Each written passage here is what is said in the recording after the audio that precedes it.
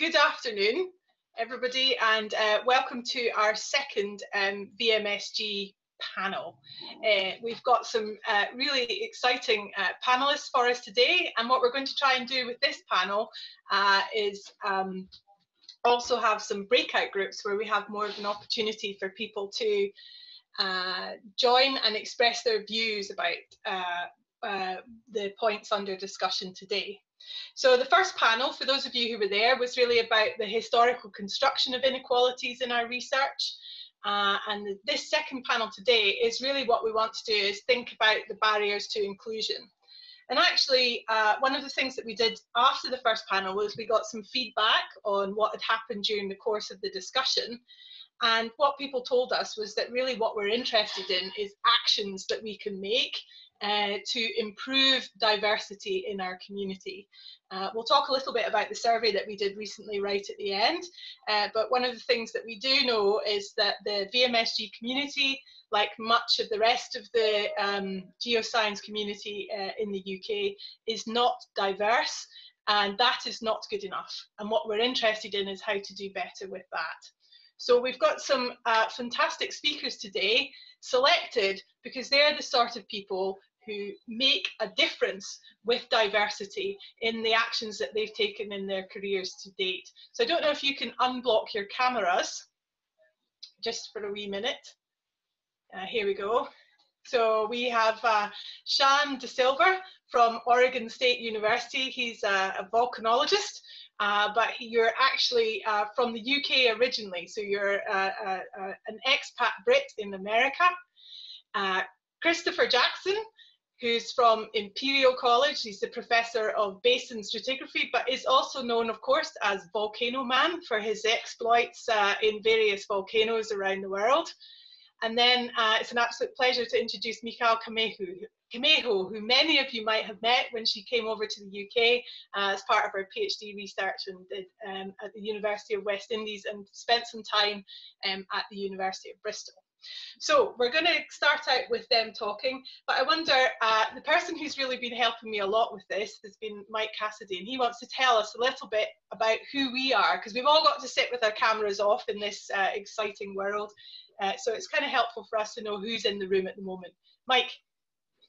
Hi, um, just a really uh, brief word from me, just to say that uh, we've got kind of a really nice um, kind of mix of different people of different career stages, um, which is quite nice. So about 29% of the people attending, or at least who signed up, um, were permanent academic staff members. Um, but we also have a lot of early career people, postdocs, um, make up about 23% of our audience today, uh, and also PhD students. Um, and also we've got quite a significant proportion of people who signed up um, from non-academic positions. So I thought it was quite a nice spread. Um, but as Jenny already said, from our survey we did the last meeting, we're actually quite uh, uh, undiverse when it comes to um, uh, you know people of color. So uh, that's something we're going to try and talk about today. Um, I think there's nothing else I wanted to say, um, so I'll just I'll stop sharing and then I think that would be good. Thanks, Mike. Um, so, as you said, one of the things we want to focus on later is actions, but what we first got to do is have some um, extreme inspiration, uh, no pressure there, guys, um, from our three panelists about their experiences and the changes that they've um, enacted. Now, what I'm just about to do now is drop into the chat is a link uh, to another, I hope it's the right Mentimeter one, somebody will tell me in a minute if it's the wrong one. Um, what it is, is this is a link to Mentimeter, which we used in last time. For those of you who weren't here for the panel last time, the idea is that as the speakers are chatting, you're going to be filled with inspiration and wonder and lots and lots of questions that you want to ask. So what you can do is pop your questions in there. But the other thing that helps us a little bit in terms of sifting through those questions is this is set up so that if you're particularly interested in a question that someone else has asked, you can endorse that by giving it a thumbs up. And then what we can do is during the question time is particularly prioritize questions that it feels like a lot of the audience are, are interested in because there's a lot of you here.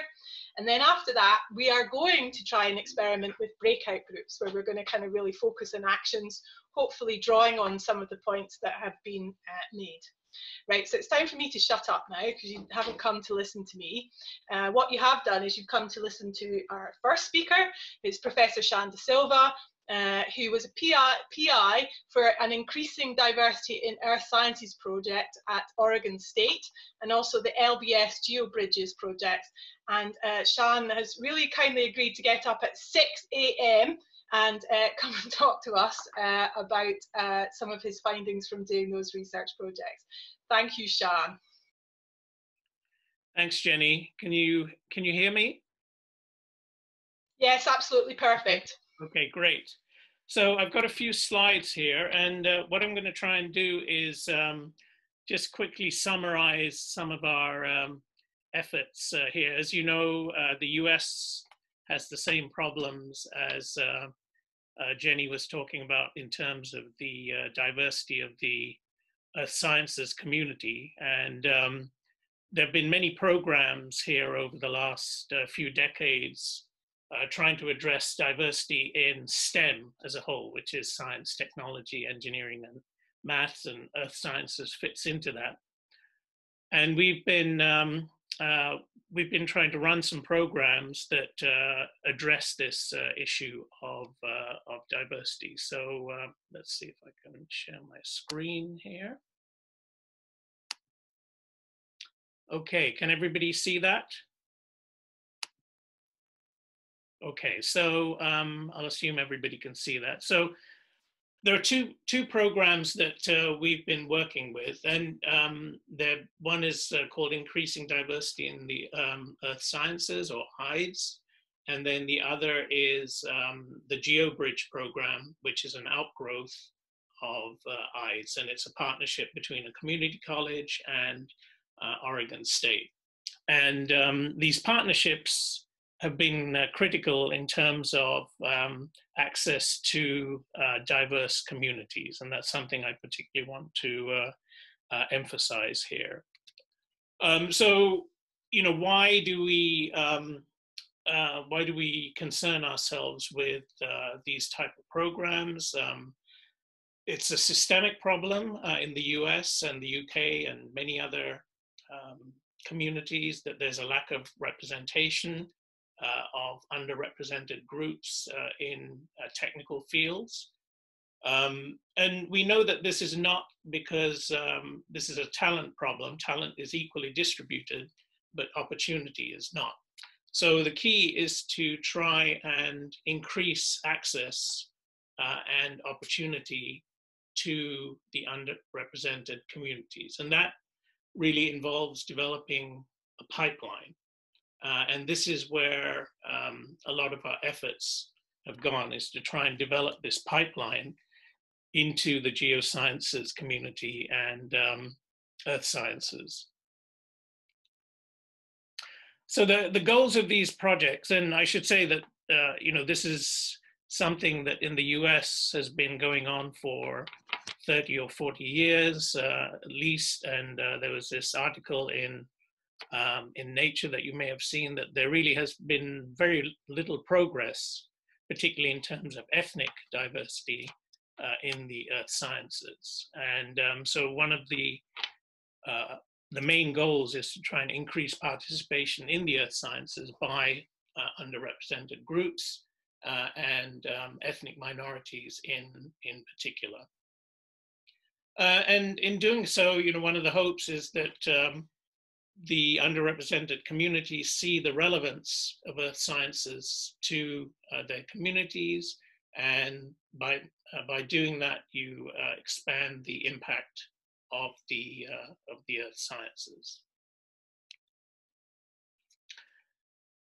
So uh, you know all of you are probably very familiar with the um, the barriers to entry into earth sciences uh, for um, different communities uh, and um, I won't go into that. That's something we can discuss if we want to. There's a big literature uh, on that. Uh, but in particular, um, academic programs in the US are concerned because of relatively low enrollments in earth sciences programs and the concern about the potential health of the earth science uh, enterprise. It always comes down to a business uh, uh, issue. Um, and then, you know, there's a recognition that lost contributions from uh, these diverse cultures uh, and talents to the earth science enterprise, and the recognition of the value of engaging some of the fastest growing groups of our uh, population. So there's a um, there's a good understanding, I think, of uh, what we need to do, um, and you know, one of the recognitions is that you have to reach uh, communities, diverse communities, and then create a pipeline into the earth sciences career path. And uh, so the first stage of uh, our programs was uh, trying to develop this pipeline. Then you have to minimize leakage from the pipeline. There's a whole host of issues that um, result in people dropping out of uh, earth sciences uh, or, and uh, other technical fields. And part of the challenge is to try and create a framework within which we minimize that, that leak leakage. And once, once the pipeline is created, then you have to provide access to networks and career paths.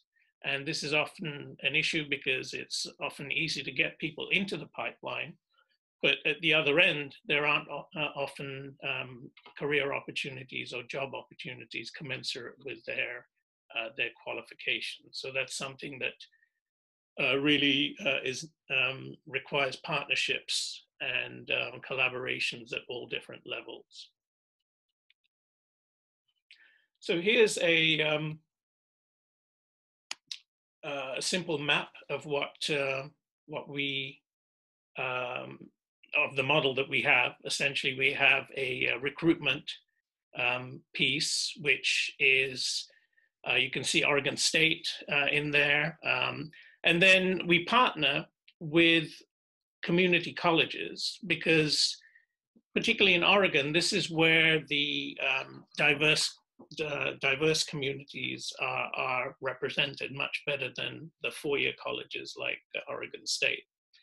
So we have a partnership across the state with community colleges, and then um, we recruit um, participants, and they work within a um, essentially a mentoring framework.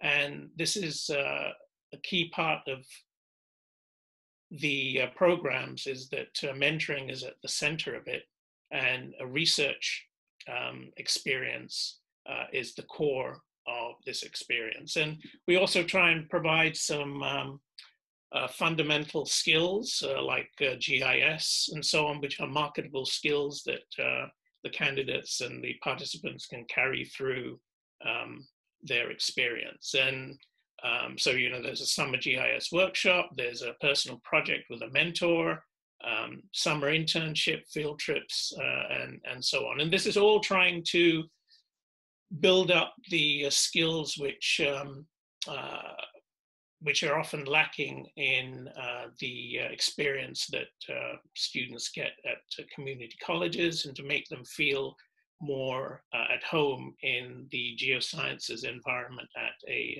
four-year college. Um, and then the hope is that that will lead to career pathways into either graduate schools or state and federal agencies and so on. And this is where we try and partner with um, uh, alumni in the program and then various contacts that we have in uh, the, uh, uh, the uh, career network.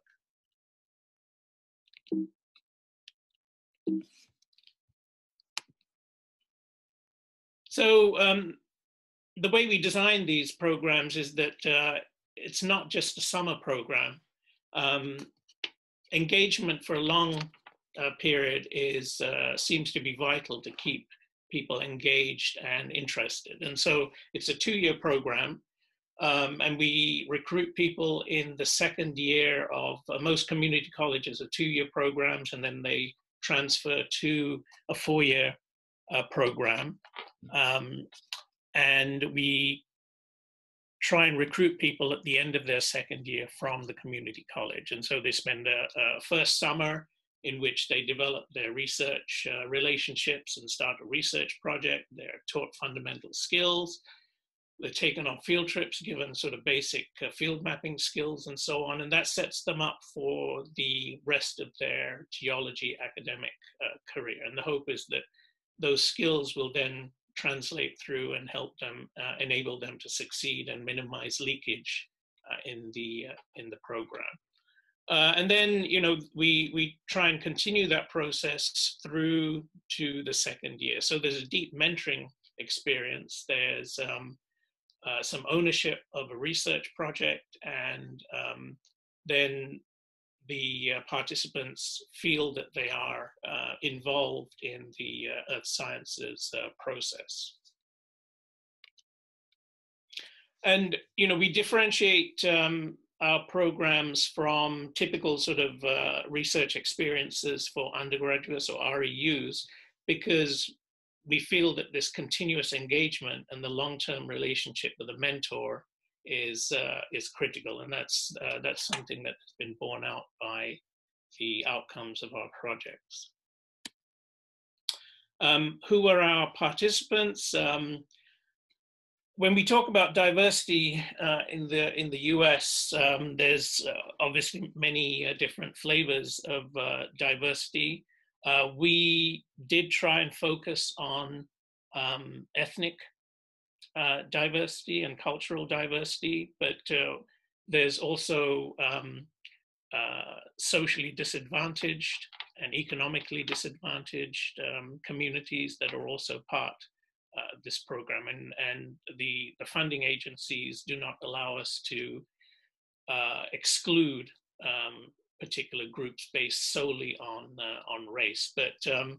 We had a good representation across many of the underrepresented communities in this uh, program.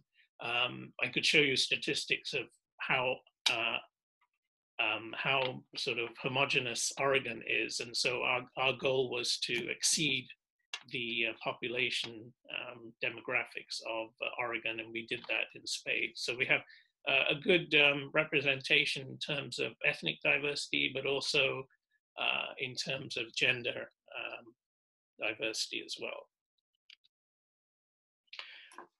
One of the keys to this is uh, ensuring that the participants have ownership. And one of the you know big barriers in earth sciences, as you all know, is that um, often underrepresented communities do not see earth science as a um, uh, as a career path or as having any relevance to their uh, personal lives. So we try to design these programs with the students' interests foremost. Um, they were interested in earth sciences when they applied, um, but what we tried to do is find out what their interests were and then try and design experiences that would tailor to their interests. Sometimes things didn't work out, and it, over the two years, it gave people time to sort of move into another area and uh, and try that. But the uh, the key here was that the experiences were personally relevant, uh, and that gave time for a strong relationship to develop with a mentor and a research group.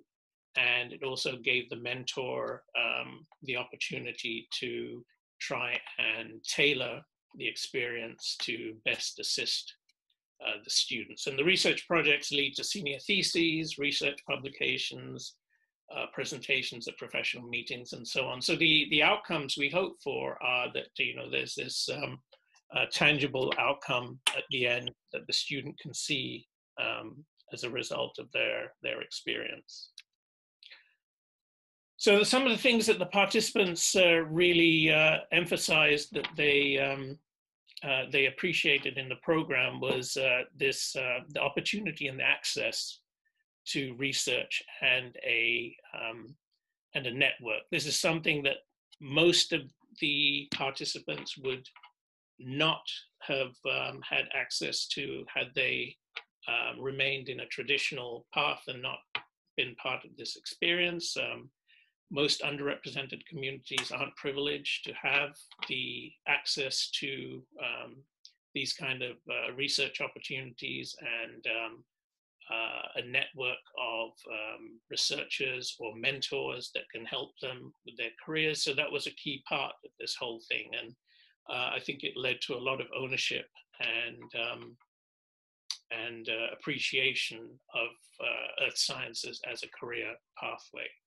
Um, the next was um, the development of fundamental and marketable skills, just simple things like um, uh, giving them extra training in um, the cognate sciences like physics, chemistry, and math that often are barriers to uh, completion of an earth science degree, uh, and in particular the GIS background. Many of our participants ended up uh, in um, in GIS career paths uh, as a result of this uh, uh, this program.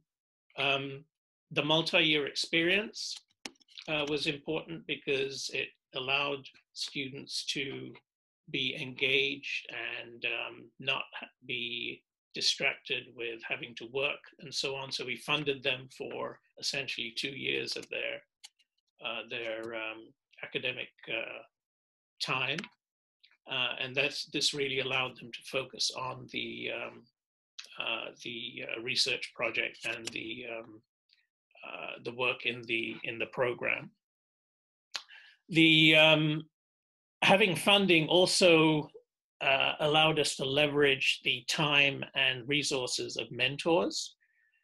Uh, if you put all the emphasis on the mentors, then that becomes uh, difficult. So uh, having program funding that um, ease the uh, the burden on the mentors that was that was important. and the cohort was important. We we essentially had four years um, um, actually seven years of program, and each year we brought in a cohort from anywhere from 10 to 7 participants. And this cohort was an important part because there was a shared community with shared experiences, and this was an important part of them moving through the uh, geology program uh, successfully. Um, and the tailored experiences were important because uh, students felt that they had uh, some ownership of the program and peer mentoring. So uh, successive cohorts would mentor um, uh, the incoming cohorts. Um, some of the things that we learned in general that might be useful um, is that this is really personnel intensive. It puts a big, um, uh, there's a big effort needed from mentors and uh, people really need to be committed to this program.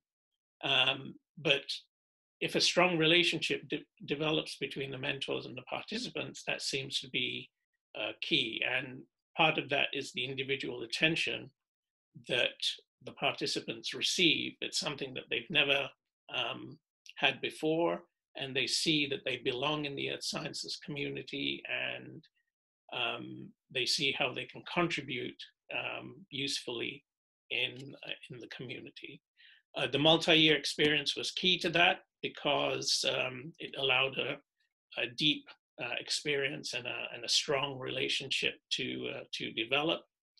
One of the other things was that the enrollment um, uh, process and the vetting of applications um, has to be more creative than the traditional looking at grades and so on. We had a holistic vetting process that uh, looked at life experiences and backgrounds, uh, as well as um, academic uh, qualifications as well. And then funding is critical. Without funding to um, ease the burden on um, the participants, uh, many uh, of these participants would have leaked out of the system because they have very non-traditional um, life pathways.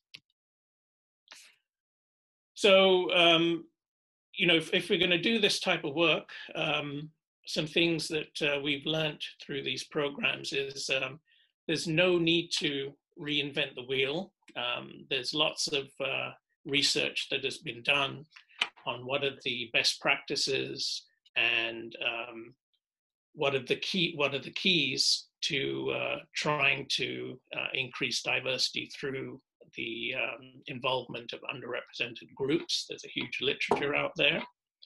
Um, you really need to understand the motivation and intent of the program. You know, why are you trying to um, do this? Uh, we all say that yes, we want to increase diversity, but what is the motivation for doing that? And that really uh, is a key. Uh, you have to understand um, deeply um, what the motivation and intent of the program is. And then the program design has to really address the central issues. We talk about diversity, but diversity is a sort of bucket term that uh, covers many uh, different uh, flavors. And uh, you know, you have to decide what we mean by diversity. Is it gender diversity, or is it um, really cultural diversity? Um, and the program needs to be designed in order to uh, really address those central uh, issues. And then one of the biggest frustrations uh, with these kind of programs is sustainability.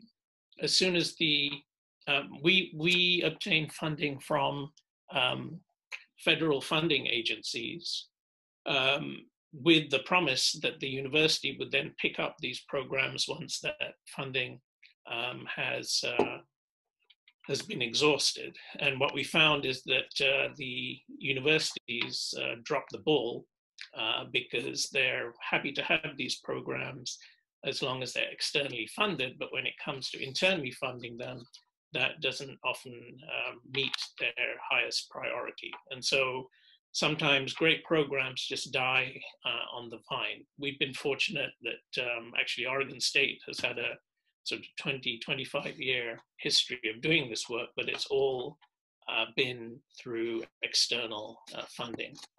And then, you know, if you're designing a program, uh, I think you know these are just common knowledge. What gets done is what gets measured. Um, so, you know, your goals need to be part of the fabric of the culture of the organization. So, you know, for VMSG, is uh, increasing diversity really a fabric of the culture? Is it um, part of the sort of foundation of the organization? And then, you know, what accountability, uh, accountability and measured uh, metrics and goals need to be very much part of any program that you um, that you uh, design.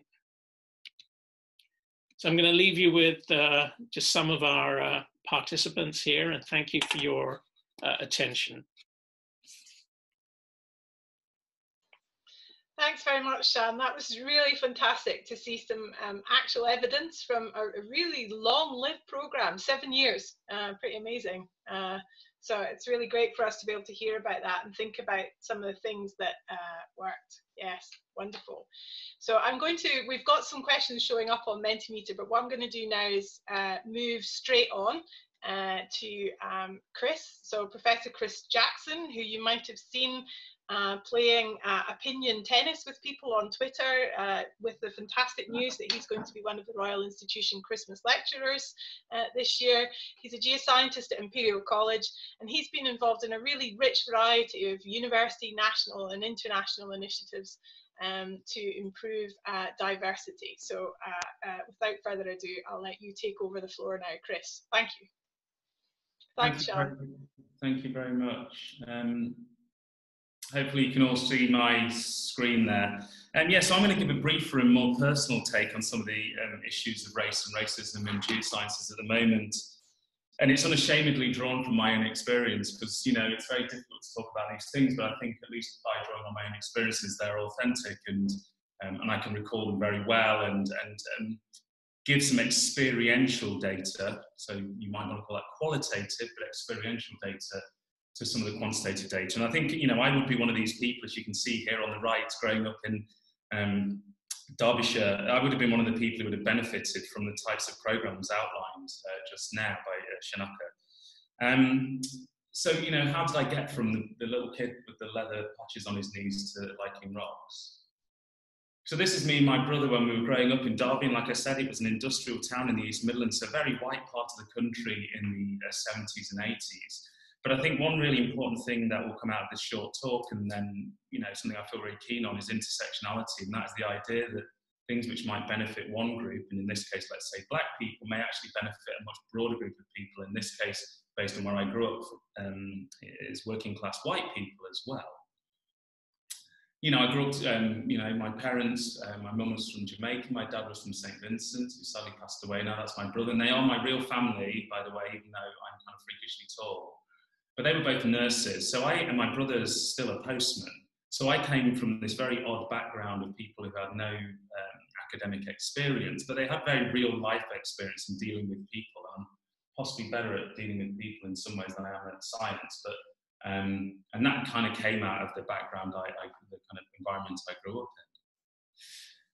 My school is an important part of this story. I went to a, community school called Noel Baker Community. You can see it's last Ofsted score there in 2018, got um, inadequate.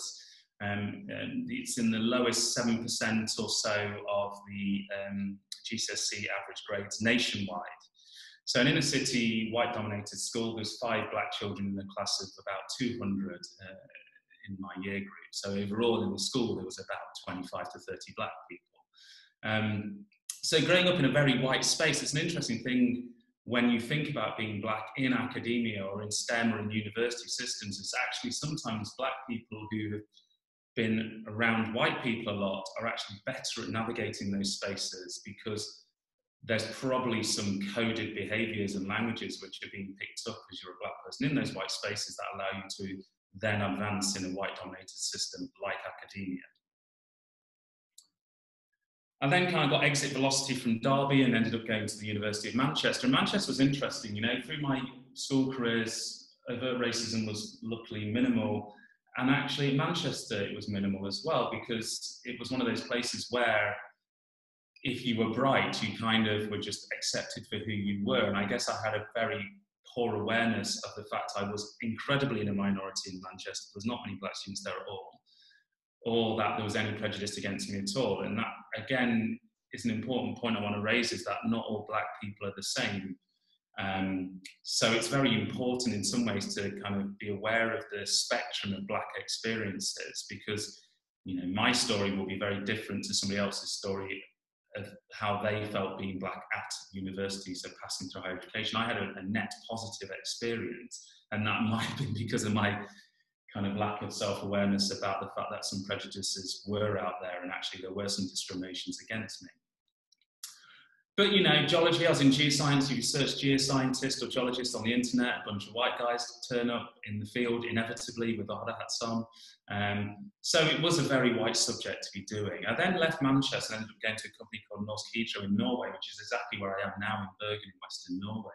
And again, that experience was really kind of great in a way, you know, being accepted and respected for the work you did, how hard you worked, and, and you know, the Norwegian culture being as it was the fact that there was recognised the value of, of, of, people being different and having different experiences. So um, again, a positive experience through the time I spent between my PhD and coming back into academia at Imperial College. And I'd say that's probably where things became more obvious to me. Okay, so my experience of 17 years at Imperial College has been overall good. It's been more challenging in the last six months, obviously. Um, but I would say that by being at the university and by being in academia, I came across more not just black academics, but BAME or BIPOC or like broader demographics or let's say just non-white people. Um, and I think it's through their stories actually that I have developed a much better understanding as a black person about the discriminations that are brought upon black people. So again, my experiences have been quite positive until very rel- relatively recently, but I've learned a lot about um, some of the challenges by being in the university system. And I think some of those things are not particularly unique to the academic system um, because it's kind of the academic system is set up in a way, as I've talked about over the last few days, in a very white male presenting sort of set of metrics. Um, but just more broadly across society as well. You know, the hands on the wheels of society are from a relatively narrow demographic uh, group. What I'll say is, you know, even though you go to Imperial College and you get like awards and you get fancy trappings, you still can have these very painful experiences that remind you that you're black. And I just want to pick up on one story here, which is where I um, went to Stanford last year to give a talk at great expense to um, their department. And to cut a long story short, some very senior person in the university when I went there, when I went into the room to say hello and present myself before my talk, said, "Oh, so you're here for the PhD position, are you?" And this was last year. I'm 43 now. I was 42 years old then, uh, and I had to correct that person and tell them that I was actually here to give the invited departments seminar. Um, and it comes down to what I think is, um, you know, you know, this kind of racism like that. And that's not to say the person who did that to me is racist. I firmly believe they are not. But still, there is a set of prejudices around the sort of person who would be coming to give a talk at a university like Stanford. And you can't get yourself out of that. So no matter how far you go on, you know, so you get things which are quite subtle all the way through to um, this Twitter quote here from when I was in um, Australia last year. You know, first day in Perth, you get called this. And you know, uh, although I don't like Kanye West, I think there is a good lyric in one of his songs which actually sums up what it can be like to be black in academia. Even if you're in a Benz, you're still a nigger in a coupe, and it's from a song called All Falls Down by Kanye West. And, and it's interesting because it basically says you can't educate yourself or you can't earn money. You're, you can't like get out of being black by educating yourself. You can't get out of being black by having money because there's a very reductionist way of looking at where black people should be and what they should be doing. And, and I think this speaks a lot to unconscious biases. You know, I ask people on this call, of which there are 50 or so, like think about how you respond when you see a black person walking towards you on the street or coming and standing up to give a talk or any of these situations. Why might this happen in the UK in academia? Well, you know, BAME professors on the left there account for about 11% of um, all the professors, and black professors, uh, eh, so going for the B in BAME, going for black professors, it's 0.74% of all the professors in the UK are, um, are black. Depending on where you look at those numbers, you know, there's an article in The Guardian here where it said the universities employ about a quarter of a million people. Uh, a couple of years ago, 33% of non-UK nationals, 2% are black, only 140, so 0.7% of those 21,000 professors are black. So you have a you, you have a you have a racial demographic like that in these higher education institutions, and it's no surprise that there is surprise when people come across black people in those spaces. Um, so I think these demographics kind of talk to why those biases arise. And it's not as if people PASS are not addressing them or tackling them, but it's but equally I'm trying to say I can see where some of those come from, but it's still not good enough. You know, women are doing even worse at this. And this I left this bullet point in to highlight this intersectional aspect is imagine being a black woman. You know, I'm a black man and you know, there's 100 and let me do my maths here, 115 black male professors in the UK. In fact, there's two black geoscience professors in the UK. I'm one of them. Um, you know, so you have this very white sort of environment that we're operating in. And, you know, like this article captures, you know, universities are monolithically white places. Uh, I think it's hard to degree, disagree with that. You know, there's systemic problems, although random Twitter trolls tell me it's all fine and Einstein was okay, is what they tell me. Um, and I just leave you with some quotes there, you know, like these things about, are you here to give this talk or you know, colorblind version of racism? Um, whiteness dominates power structures, and universities are currently not really getting their teeth into this issue of race and racism in a serious fashion. I've actually put these slides together early this year, this, this particular slide, something else, before the murder of George Floyd. And um, my experiences since the murder of George Floyd have made have hardened my view on, on this point. I think the appetite for taking on these problems is, is we're not going far enough and fast enough. So I'm really pleased to see the VMSG, which is a which is monolithically white. I think, as Jenny said at the start, almost the fact that you a white dominated society are trying to do something to tackle this in a serious way is hugely encouraging. As from a black perspective, that it shows that there's people who are willing to spend time and effort to try and break down some of these barriers for, for, for a group which is completely different to their own.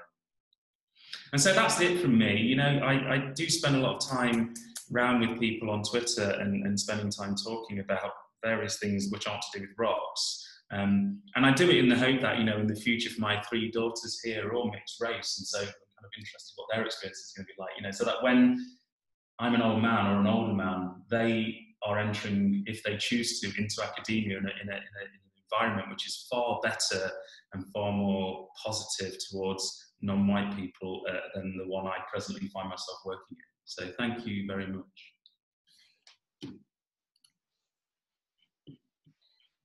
Thank you very much, Chris. That was uh, pretty inspiring, and it's it's it's really good, I think, to remind ourselves uh, that one of the main reasons to do this is to make things better.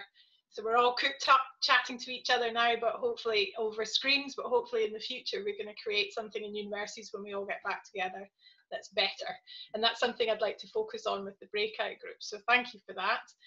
So last but absolutely by no means least, I've been um, contemplating uh, fangirling you by putting some links to your papers, Michal, into, into the chat while you're talking, but I think it'll distract people from your main message, but we'll do it. Uh, it's a real pleasure to uh, welcome Michal Camejo Camejo, why do I keep doing that? Sorry, who is a volcano petrologist at the University of the West Indies.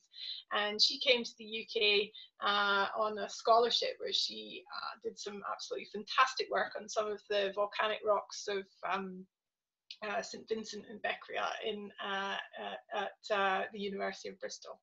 So thank you, Michal. Thanks, Jenny, for that lovely introduction. So I just wanted to give you guys an idea of my experience as a PhD student, both in the Caribbean and in the UK.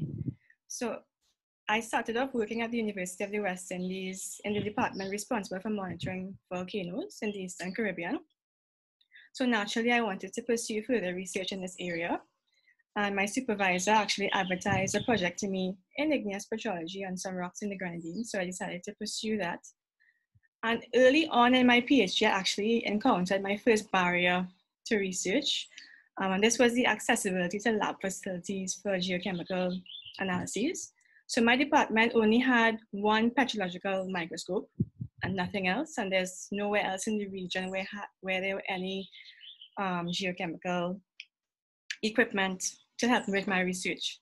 So um, I figured out early on that I have to find some way to get to a place where they had these facilities to further my research.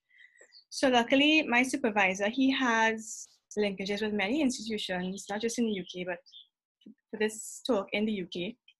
And I was able to utilize one of those linkages to go to Bristol in 2014 to analyze a couple of samples over two days, about eight samples over two days. So I went actually to do a course on electron probe microanalysis run by EMAS, and I stayed on for two days extra just to do these analyses.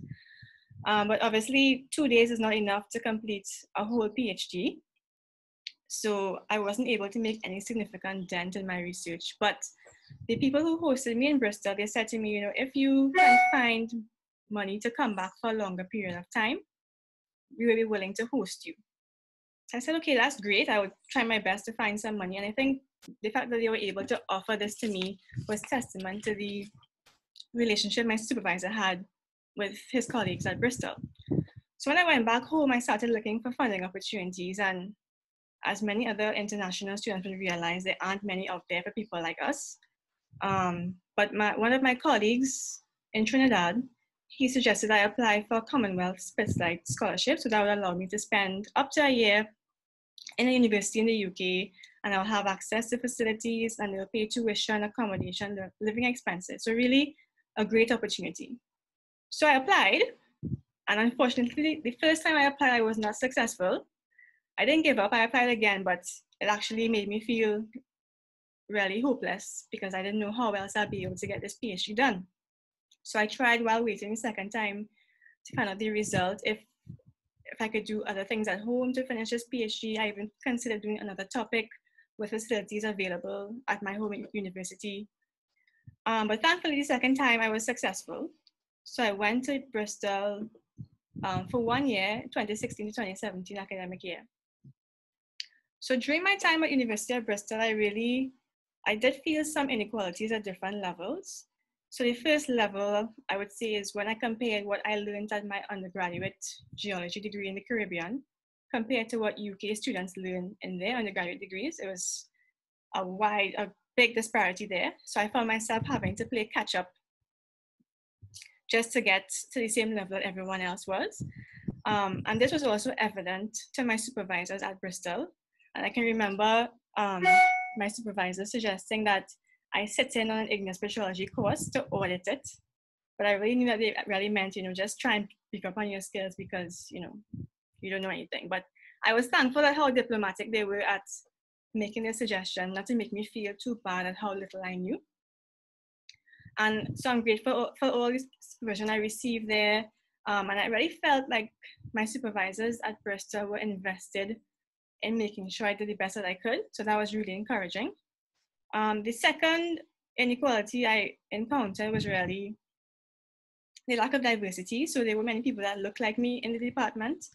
But I was sort of used to this. I did my master's in London um, some years before, and I was used to being the only person that looked like me in a, in a class. So that wasn't a big um, issue for me. Um, being from the Caribbean, you would expect when you go to the UK, you would be the only person that looks like you. That was just my experience. So I was fine with that. But those two um, inequalities actually made me work much harder um, and just to catch up and prove myself. And at the end, it worked out well because I was able to finish my PhD with a good project. Um, and then, so my supervisors at Bristol were actually very encouraging, as I said before. So they actually encouraged me to join these departmental research groups. So I joined this petrology branch group, I think that's what they call it. And they had these monthly or fortnightly meetings where you would come and listen to other people give present their research and there I was able to make some friends, meet peers in my field. And at one point I actually gave a presentation to that group. Um, also, my home supervisor in Trinidad, he had another colleague at Bristol and he told her that I was there and she actually invited me to join her weekly um, meetings that she had with her PhD students. So she would have these meetings at lunchtime where the students would come, eat lunch very informal, and discuss what they did over the past week, what problems they had, and everybody would discuss and give feedback. And that was a great way to make friends and also learn what other people were doing in the department. So generally, my experience at University of Bristol um, really made wasn't too bad. I got the education that I needed to make my PhD research much better, and I was able to meet new and exciting people. And it also made it easier for me to go to conferences. So the first time I went to a conference was in 2013. I went to IAVCEI in Japan, and I went to present my master's research and some work I was doing in Trinidad. And it was very overwhelming. I mean, it was that's a really big conference, and I really felt like I just wanted to remain invisible and just hopefully nobody asked me any questions at my posters because I didn't feel like if my research was on the same level as everyone else's. However, based on my experience in the UK, um, towards the end of my time at Bristol, I went to IAVCEI in Portland. And this time, um, I really felt like if my research was on par with everyone else, just based on the experience I had at Bristol. So I didn't feel um, major inequalities there, except for the obvious physical differences between me and everyone else. But in terms of what I learned and what I could present, I felt like basically um, my research was on the same level as everyone else's. So I think some key takeaways from my experience being a Caribbean student, um, spending some time in the UK, it's important to have good linkages between universities and institutions from the get-go and this is a great way to encourage inclusion from less represented places in the world.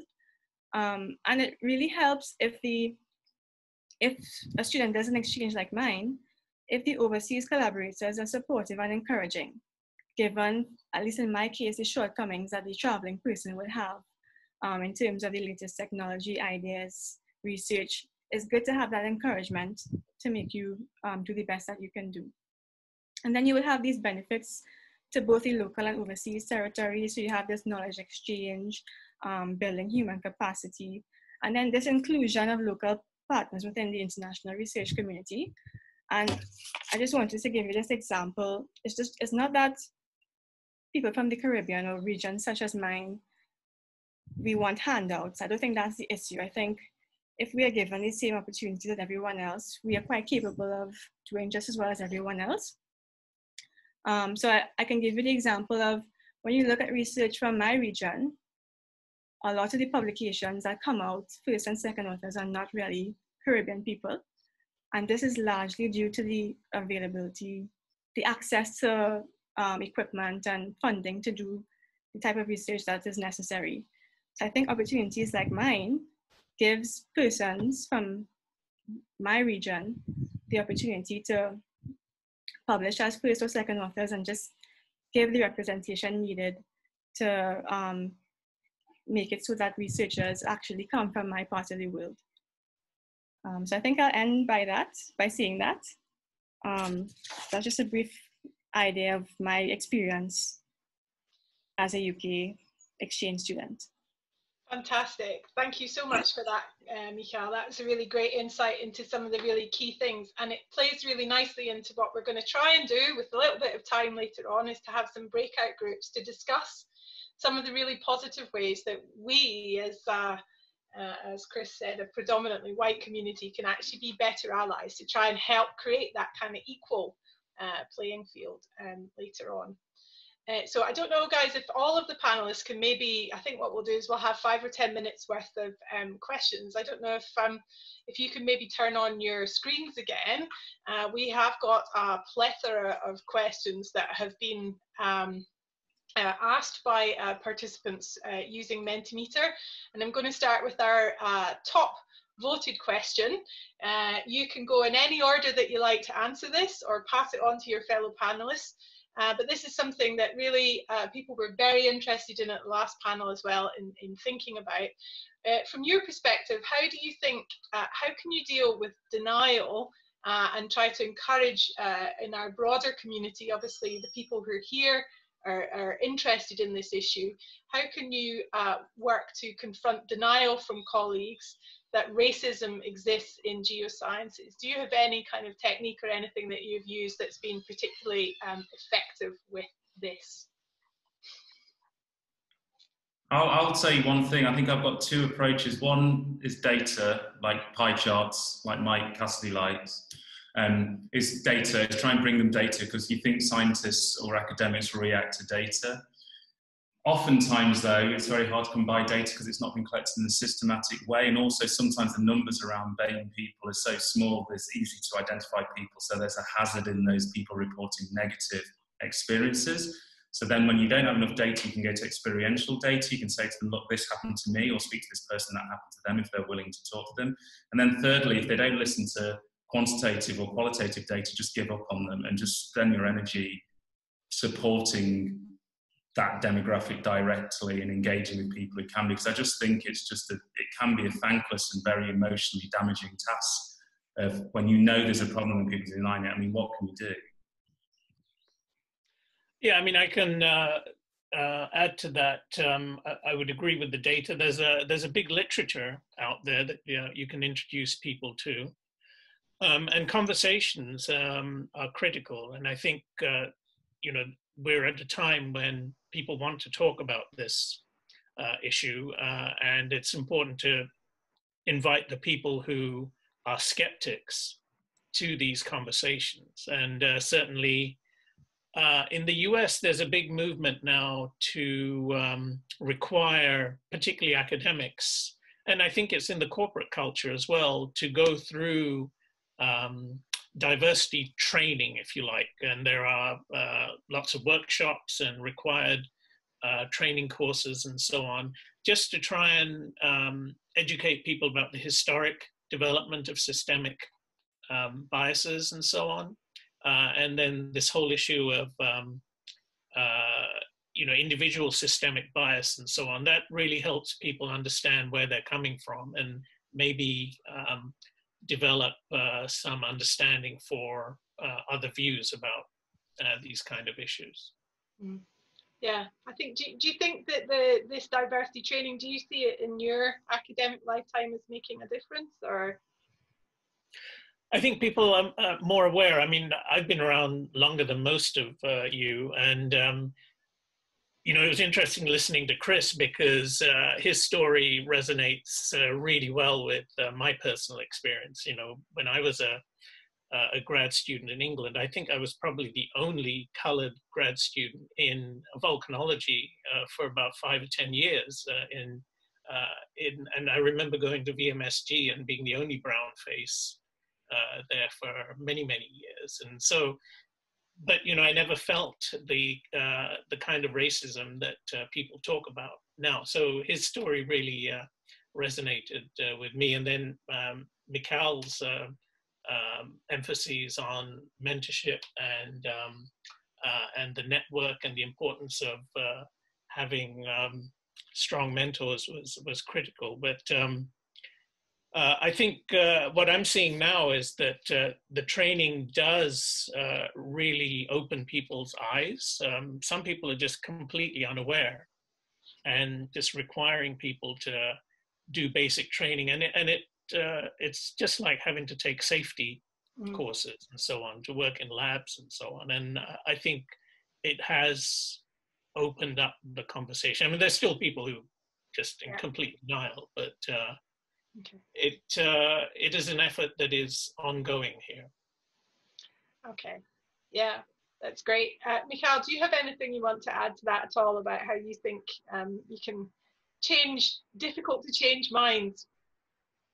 Um, I guess it, it depends on the aspect of its science, but I mean, in terms of volcanology, you can just look at you just have to open your eyes and look at the um, types of people that publish the and they compare the people who are actually in the region monitoring the volcanoes and then look at the scientists that come to do to help um, improve to, to, improve the reduce the risk by um, improving the hazard but all the publications most of them come from outside of the Caribbean region. I'm just speaking for my region because that's my experience. But if you just sit back and look at what's in front of you, you can't deny what's already there.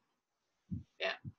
Okay. Thanks. Good. I think you, you guys are largely talking positively, which is really good. And I think one of the things that you've all mentioned is the value of strong and proper mentoring. Uh, so the next question really is um, how do you think we as an academic community can actually reward those sorts of activities? Because I think probably having been good, having been mentored well and being good role models yourself, you understand how time consuming it is. And Shan mentioned that. How do you think we can try to move things around to start kind of rewarding the ivory tower egotistical single and start really actually thinking about how to reward that type of activity, which clearly has a positive impact? Well, I think that's um, a key is sort of building it into the reward system. Mm-hmm. And uh, so, one of the things that's happened in the last five years here is um, diversity related activities are now built into people's position descriptions. And so, in the annual reviews every year, you know, people have to talk about what they've been doing in terms of trying to enhance uh, diversity and inclusivity and equity and so on. And you know, still there are people who you know don't adhere to the um, uh, the imperative, but uh, I think a lot of people are now embracing this, and you know, we're looking at it in terms of how to um, uh, recruit graduate students, how we do um, admissions uh, and how we evaluate applications and so on. And there's there is a shift. I mean, it's it's it's still a systemic uh, problem, but uh, I think there's an awareness of uh, how to try and address this. I think as well as there's an issue as well. As soon as you metricize something and make it a target to be good, as soon as you incentivize, if you're good, you'll get this money, or if you're good, you'll get this promotion then I think you can start to pervert behaviors, right? So I think you end up just, you know, and I think somebody explained it to me the other day. It's like, um, you know, diversity within, without inclusivity is harm to the individual, right? So it's like, the, the you know, an, an easier way of putting that is the whole like, diversity inclusion is like being asked to go to a party but not being asked to dance, right? So you're allowed in, but then you're just put in the corner, and then you get tokenistic sort of accusations leveled at you. So I think we have to be really sensitive about how we, we incentivize being not racist. Because I think some people who are racist will do anything to get ahead. And I think, Michal, you said the same thing about papers. Like people will just like go and fish around for some like local scientists to go on their paper so it looks better in a kind of very performative fashion to the outside world. But materially, they're just terrible people who don't really want to fully engage with those communities. So, and I don't know if I have, I don't have the answer, but I'm just saying it's a, it's a thing to be cautious of. Yeah. Michal, um, well, and I think well, some of my experience wasn't really, well, I didn't really feel overt racism per se, I guess. But I guess because I, when I leave the Caribbean and I go to the UK, I expect to be different. I guess that really relates to the underlying, um, those expectations really surely underlying racism, I guess. But I didn't really feel any overt racism. But I think when you compare um, UK or international overseas territories coming to do work in regions like ours.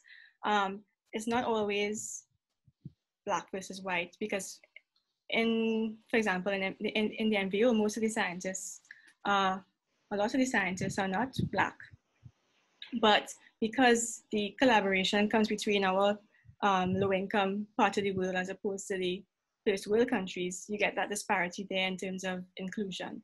So it's not only mm-hmm. um, minority race versus white, it's also um, high income versus low income countries. Yeah. Okay. Thank you. It's it's a good point. I think intersectionalities come a lot. A lot. I'm just keeping an eye on the time. I'm going to ask one last question because somebody asked it so nicely and it's been thumbs up a few times, which is they really want to know what you and the panel think about having ring-fenced studentships or mentorships for um, underserved groups in the community. Do you think that is a good good idea? Something specifically ring-fenced uh, for those groups that are currently underserved? Uh, by our research community. And you yeah. can give a one word answer if you like. yes. yes. Yeah.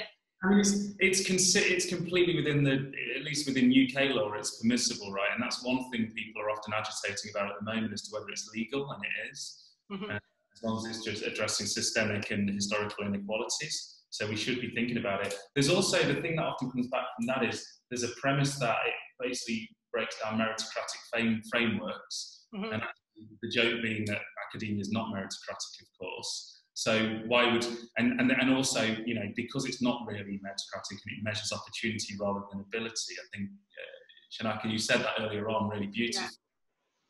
You have a lot of mediocre people in positions and in positions of power, and actually, what we want to be thinking about at least is you know addressing that balance for the betterment of our discipline. Yeah. And if that means ring fencing funding and, and giving opportunity to people without denying it to others, I think that's a very powerful thing to do. Yeah, I mean, I, I totally agree. I mean, our, our programs are very much ring fenced, uh, and we do exclude through the um, vetting process certain groups, but uh, there have been legal challenges, but uh, generally um, those have not succeeded because it, it's felt that this is part of what we need to do in terms of uh, uh, equalizing the opportunities. Great. Okay. Michal, what do you think? Um, I can just give you my experience about now looking to try to get into a postdoc. It's very difficult to, for me as an international student, to get funding for any kind of postdoc anywhere in the world. Um, like most of the like NERC funding is only for European and UK people. So I think if they can find some ways to expand those opportunities to people who are not from those parts of the world. And I think with COVID, maybe, um, and not just postdocs, I've been applying for jobs as well, and it's quite difficult, but with COVID, working remotely may help with getting teaching positions for anyone, not just um, people who live in the UK. Um, but I, I'm hoping that after conversations like these, opportunities for research positions um, expand to include, well, it makes it easier for people like me to apply for them and get through for not just short-term one-year postdocs, because it's not very, um, doesn't make sense for me to leave my home just to go to the US, for example, for one year, but a longer two to three to three year position, that would really help people like me. Um, so one other thing, uh, Jenny, do, does the VMSG group know about Involk? So when I was on the uh, executive committee of IAVCEI, we uh, established a program called uh, the International Network um, yes. of uh, and I can see Karen. Karen is here today again. Um, oh, okay. So yes, we discussed it. We discussed it at the last um, meeting. I didn't put links into the last write-up, but I tried to put some links into some resources and funding sources that might help with some of the issues that we discussed. So, so yeah, I mean, it goes straight to the issue that uh, Michal was talking about in terms of uh, access uh, to laboratories and uh, resources, not necessarily for postdocs, but certainly for um, short-term analytical visits and things like that. Yeah, great. So uh, I'm receiving messages from the timekeepers in the VMSG committee, um, and what we'd really like to do is actually try to tr translate this into some actions. So you can see um, I have put up another Mentimeter poll into the chat. And shortly, what um, Janine is going to do by magic is we're all going to time travel into some uh, breakout groups. And what we would like you to do in those breakout groups is discuss exactly some of these things, and they resonate with some of the questions that we were being asked as well, which is um, basically three ways in groups that you think are good ways to be an ally based on either your personal experience or things that you've heard in the two panels, and three top tips for handling different difficult opinions. So they don't need to be something that you think, something that you talk about as a group. And I think what we're going to do is swirl you off into groups um, for uh, 10 um, uh, for 10 minutes. You'll get a sign when you come back. And what I want you to do is to write in the assigned group number that you have your three top tips. So three ways to be an ally, three top tips um, to be uh, and three top tips for uh, handling difficult opinions. Thank you very much, Mike.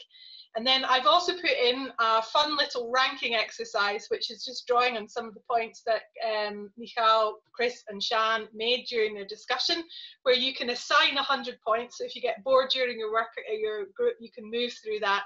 Uh, you can assign 100 points to these different things to start thinking about priorities. Because obviously what we have to do as a community uh, by the end of these discussions is come up with some tangible actions that we would like to do. Right, Janine, do you want to take it away and whirl people off into their breakout groups?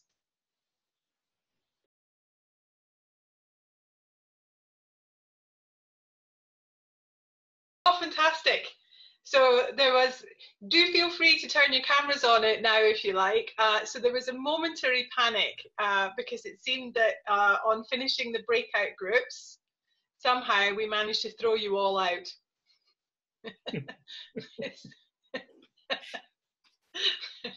and we're going to pull an air of mystery over that and you can maybe go to the youtube recording to find out who it was who's responsible. Uh, um, so really sorry about that guys. Uh, one of the things that i'm now going to do is just seamlessly have a little look at uh, some of the answers that we've got from the groups. Group one i have to say fantastic. We're starting to see some responses. So while we're waiting for um, whatever uh, happened to unhappen, I am now gonna, uh, let me just present that to myself and then, oh, escape, and then uh, share screen with you guys. Okay, here we go. So um, I don't. I suspect it was probably a little bit chaotic um, to start with. Um, what you were meant to be doing. So the idea was that while you were in the groups, you maybe have a bit of a discussion about three ways to be an ally and three top tips for handling um, difficult opinions. And um, so one of these uh, is group two, who said that support colleagues in meetings and when discussing issues. And I think that um, certainly from my own experience of dealing with gender issues, uh, that's something that's incredibly uh, powerful actually is when somebody speaks up uh, when they think you're being dealt with unfairly. So and then also to um, challenge problematic views.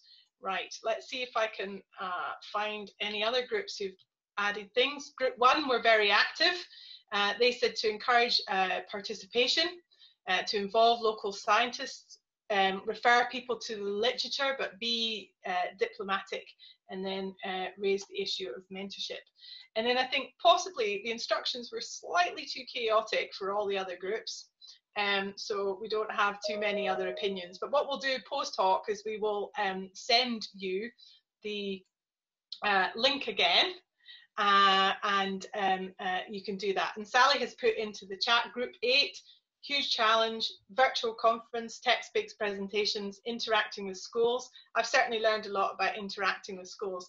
I don't know if, just to close out, if any of our panelists, if we haven't kicked you all out unceremoniously uh, at the end, uh, would like to comment on some of the conversations that they were having, uh, reflecting through the experience that they brought early on to the panel.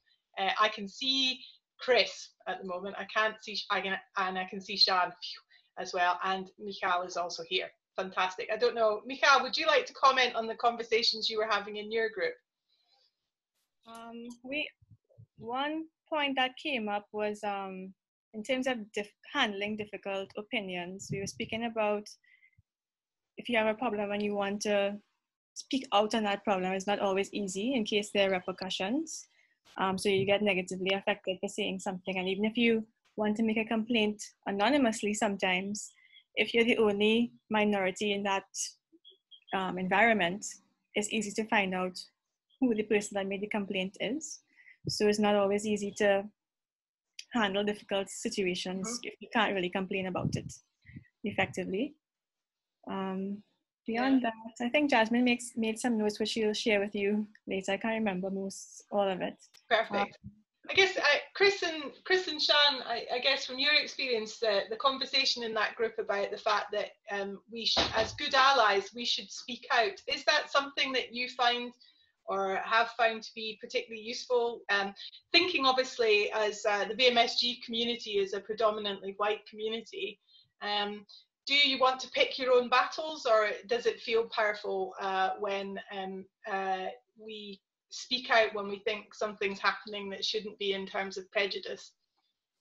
I think it, I mean, I think it's hugely powerful, you know, again, relating it to the, the kind of experiences of this year when there was cases of racism in our department and luckily it was covid so we weren't physically in the same space the people who led the charge on tackling the management committee around those behaviors was a group of white people right and that was very reassuring for me to to see those people sort of taking up arms in a very, very vocal and very well put together and very thoughtful and very sympathetic way to me. They were like, Do you want us to do this? How would you like us to do this? We're not intruding on something that, you know, they did it in an amazingly thoughtful way. And so I, I think, I think it is inspiring to see um, people who aren't like you fighting on your behalf for, for things which, you know, so, so don't, don't underestimate your own power in this, right? Mm-hmm. And you know this, Jenny, from writing this preprint about the, the BAME black biases in geoscience recently. You know, there was a lot of concern amongst the authors on that list whether or not white people should even be writing this preprint, mm-hmm. writing this article, right?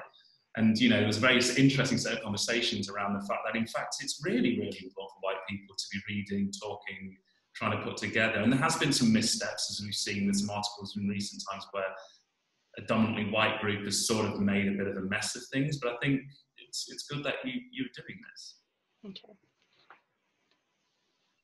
Yeah, yeah, I'll uh, echo what uh, Chris said. Um, there's also, you know, the, the power structure. Um, not everybody can, it feels comfortable addressing these issues. So you have to sort of look at your your personal um, comfort zone and so on. But um, one of the things that came up uh, in our discussion was, um, you know, should we simply ignore the people who uh, we consider um, just uninterested or in denial uh, about these issues? And I, I, think this is where the conversations and having open conversations about this really uh, uh come into play. I mean, I think the more discussions you have and the more data-driven uh, discussions you have, the more likely you are to sort of uh, try and change uh, some of the views of people.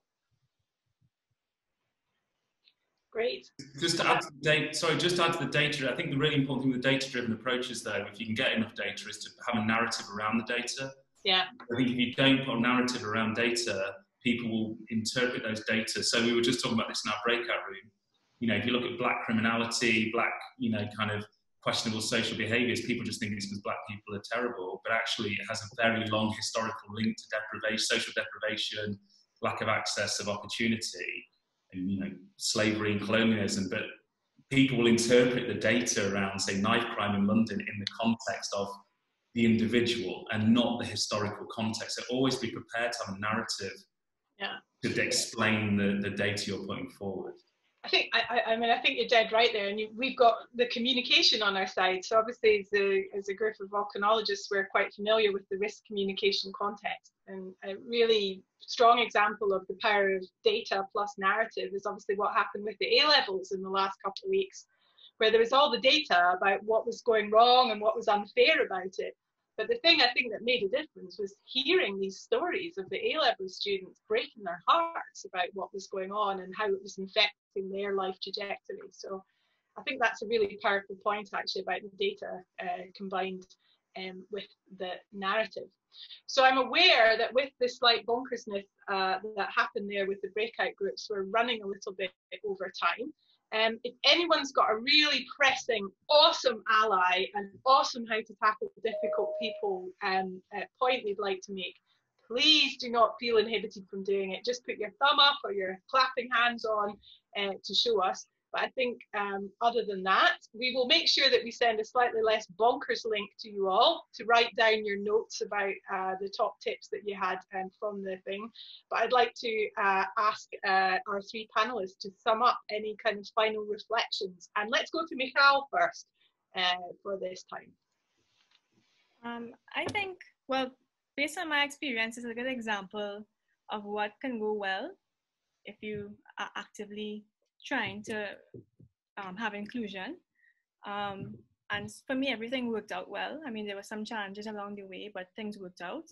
And I think if people from both ends try to pursue opportunities to improve diversity, things will work out well. And you can have um, scientists at the end of it who are able to give back to their own communities and also who can create linkages for their own students, I guess, in the future to um, propel this diversity within overseas territories. Thank you. Shan.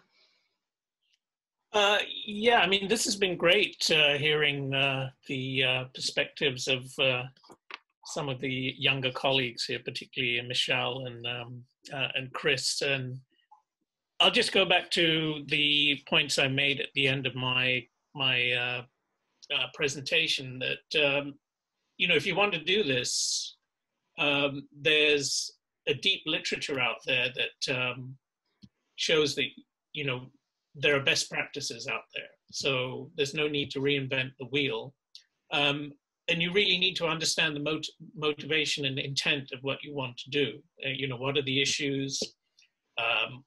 If it's lack of diversity, what do we mean by diversity? Um, you know, once we answer that, then we can look at the root causes and solutions. You know, if it's gender, that requires a different strategy to cultural and ethnic uh, diversity. And then you need to think about the time frame as well. You know, systemic issues cannot be dealt with with a band-aid approach, and so you, mm-hmm. you've got to be in it for the for the long game if you really want to make uh, make the change. Um, sustainability. You know, what happens after this generation or this group of people um, uh, you know move on is there a is there a pipeline of younger people that will take up the mantle and and and uh, continue it and you know this issue of um, uh, metricizing things yes there are problems doing that but what gets done is what gets measured usually and so you know you need to build it into the foundation of the VMSG organization it needs to be fabric of the culture and there needs to be some measures of accountability to see whether these programs um, are actually going to be meaningful uh, or not. And you've got to stay the course uh, through commitment and sponsorship. And you know, when you get frustrated, you can't walk away. So there needs to be some real deep commitment into this. Thanks, John. And finally, Chris?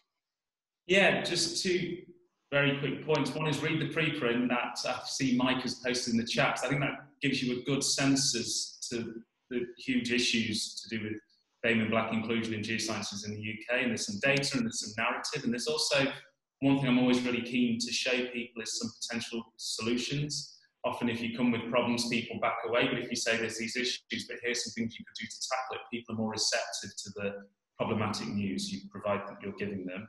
And then the other quick thing is try and find your voice. You're already on this call, you know, you've shown your faces on this call as allies and, you know, you want to learn. And whether you can find your voice around the dinner table with, you know, granny and grandpa and, you know, and, and having those conversations at that local level or on social media, you know, liking tweets, retweeting, talking, expressing opinions. And we're all different. We all have different levels of comfort with what we're willing to say publicly, but try and engage in that. I think is a really good, important message. Is try and find your voice and try and use it in support, and then that's helpful for the minority community, but also it, it kind of uh, inspires other people to speak up. That's it. Perfect. Inspiration is an absolutely uh, wonderful place to finish, and re remembering that we're heterogeneous and that there's power in our heterogeneity, I think, is really great. So what we're going to do is we're going to try and get these uh, opinions that you all had in the breakout groups down. We will summarize this discussion again, and then the final panel is going to be one where what we're going to do is work together to create some priorities for us as a community of things that we can do as an academic organisation community in the UK. So I want to personally thank the three panellists, but I'd really like our President, uh, Sally, to uh, do the very final closing remarks. okay, thanks, Jenny. Yeah, that was a really great session, and it would not have been possible with without Chris and Shan and Michal. So a big, big thanks to to you all indeed. And you know, this is really important to the VMSG community, and it's great that so many people have joined us this afternoon. So th thanks very much, everybody. Thank you. Thank you. Thank you.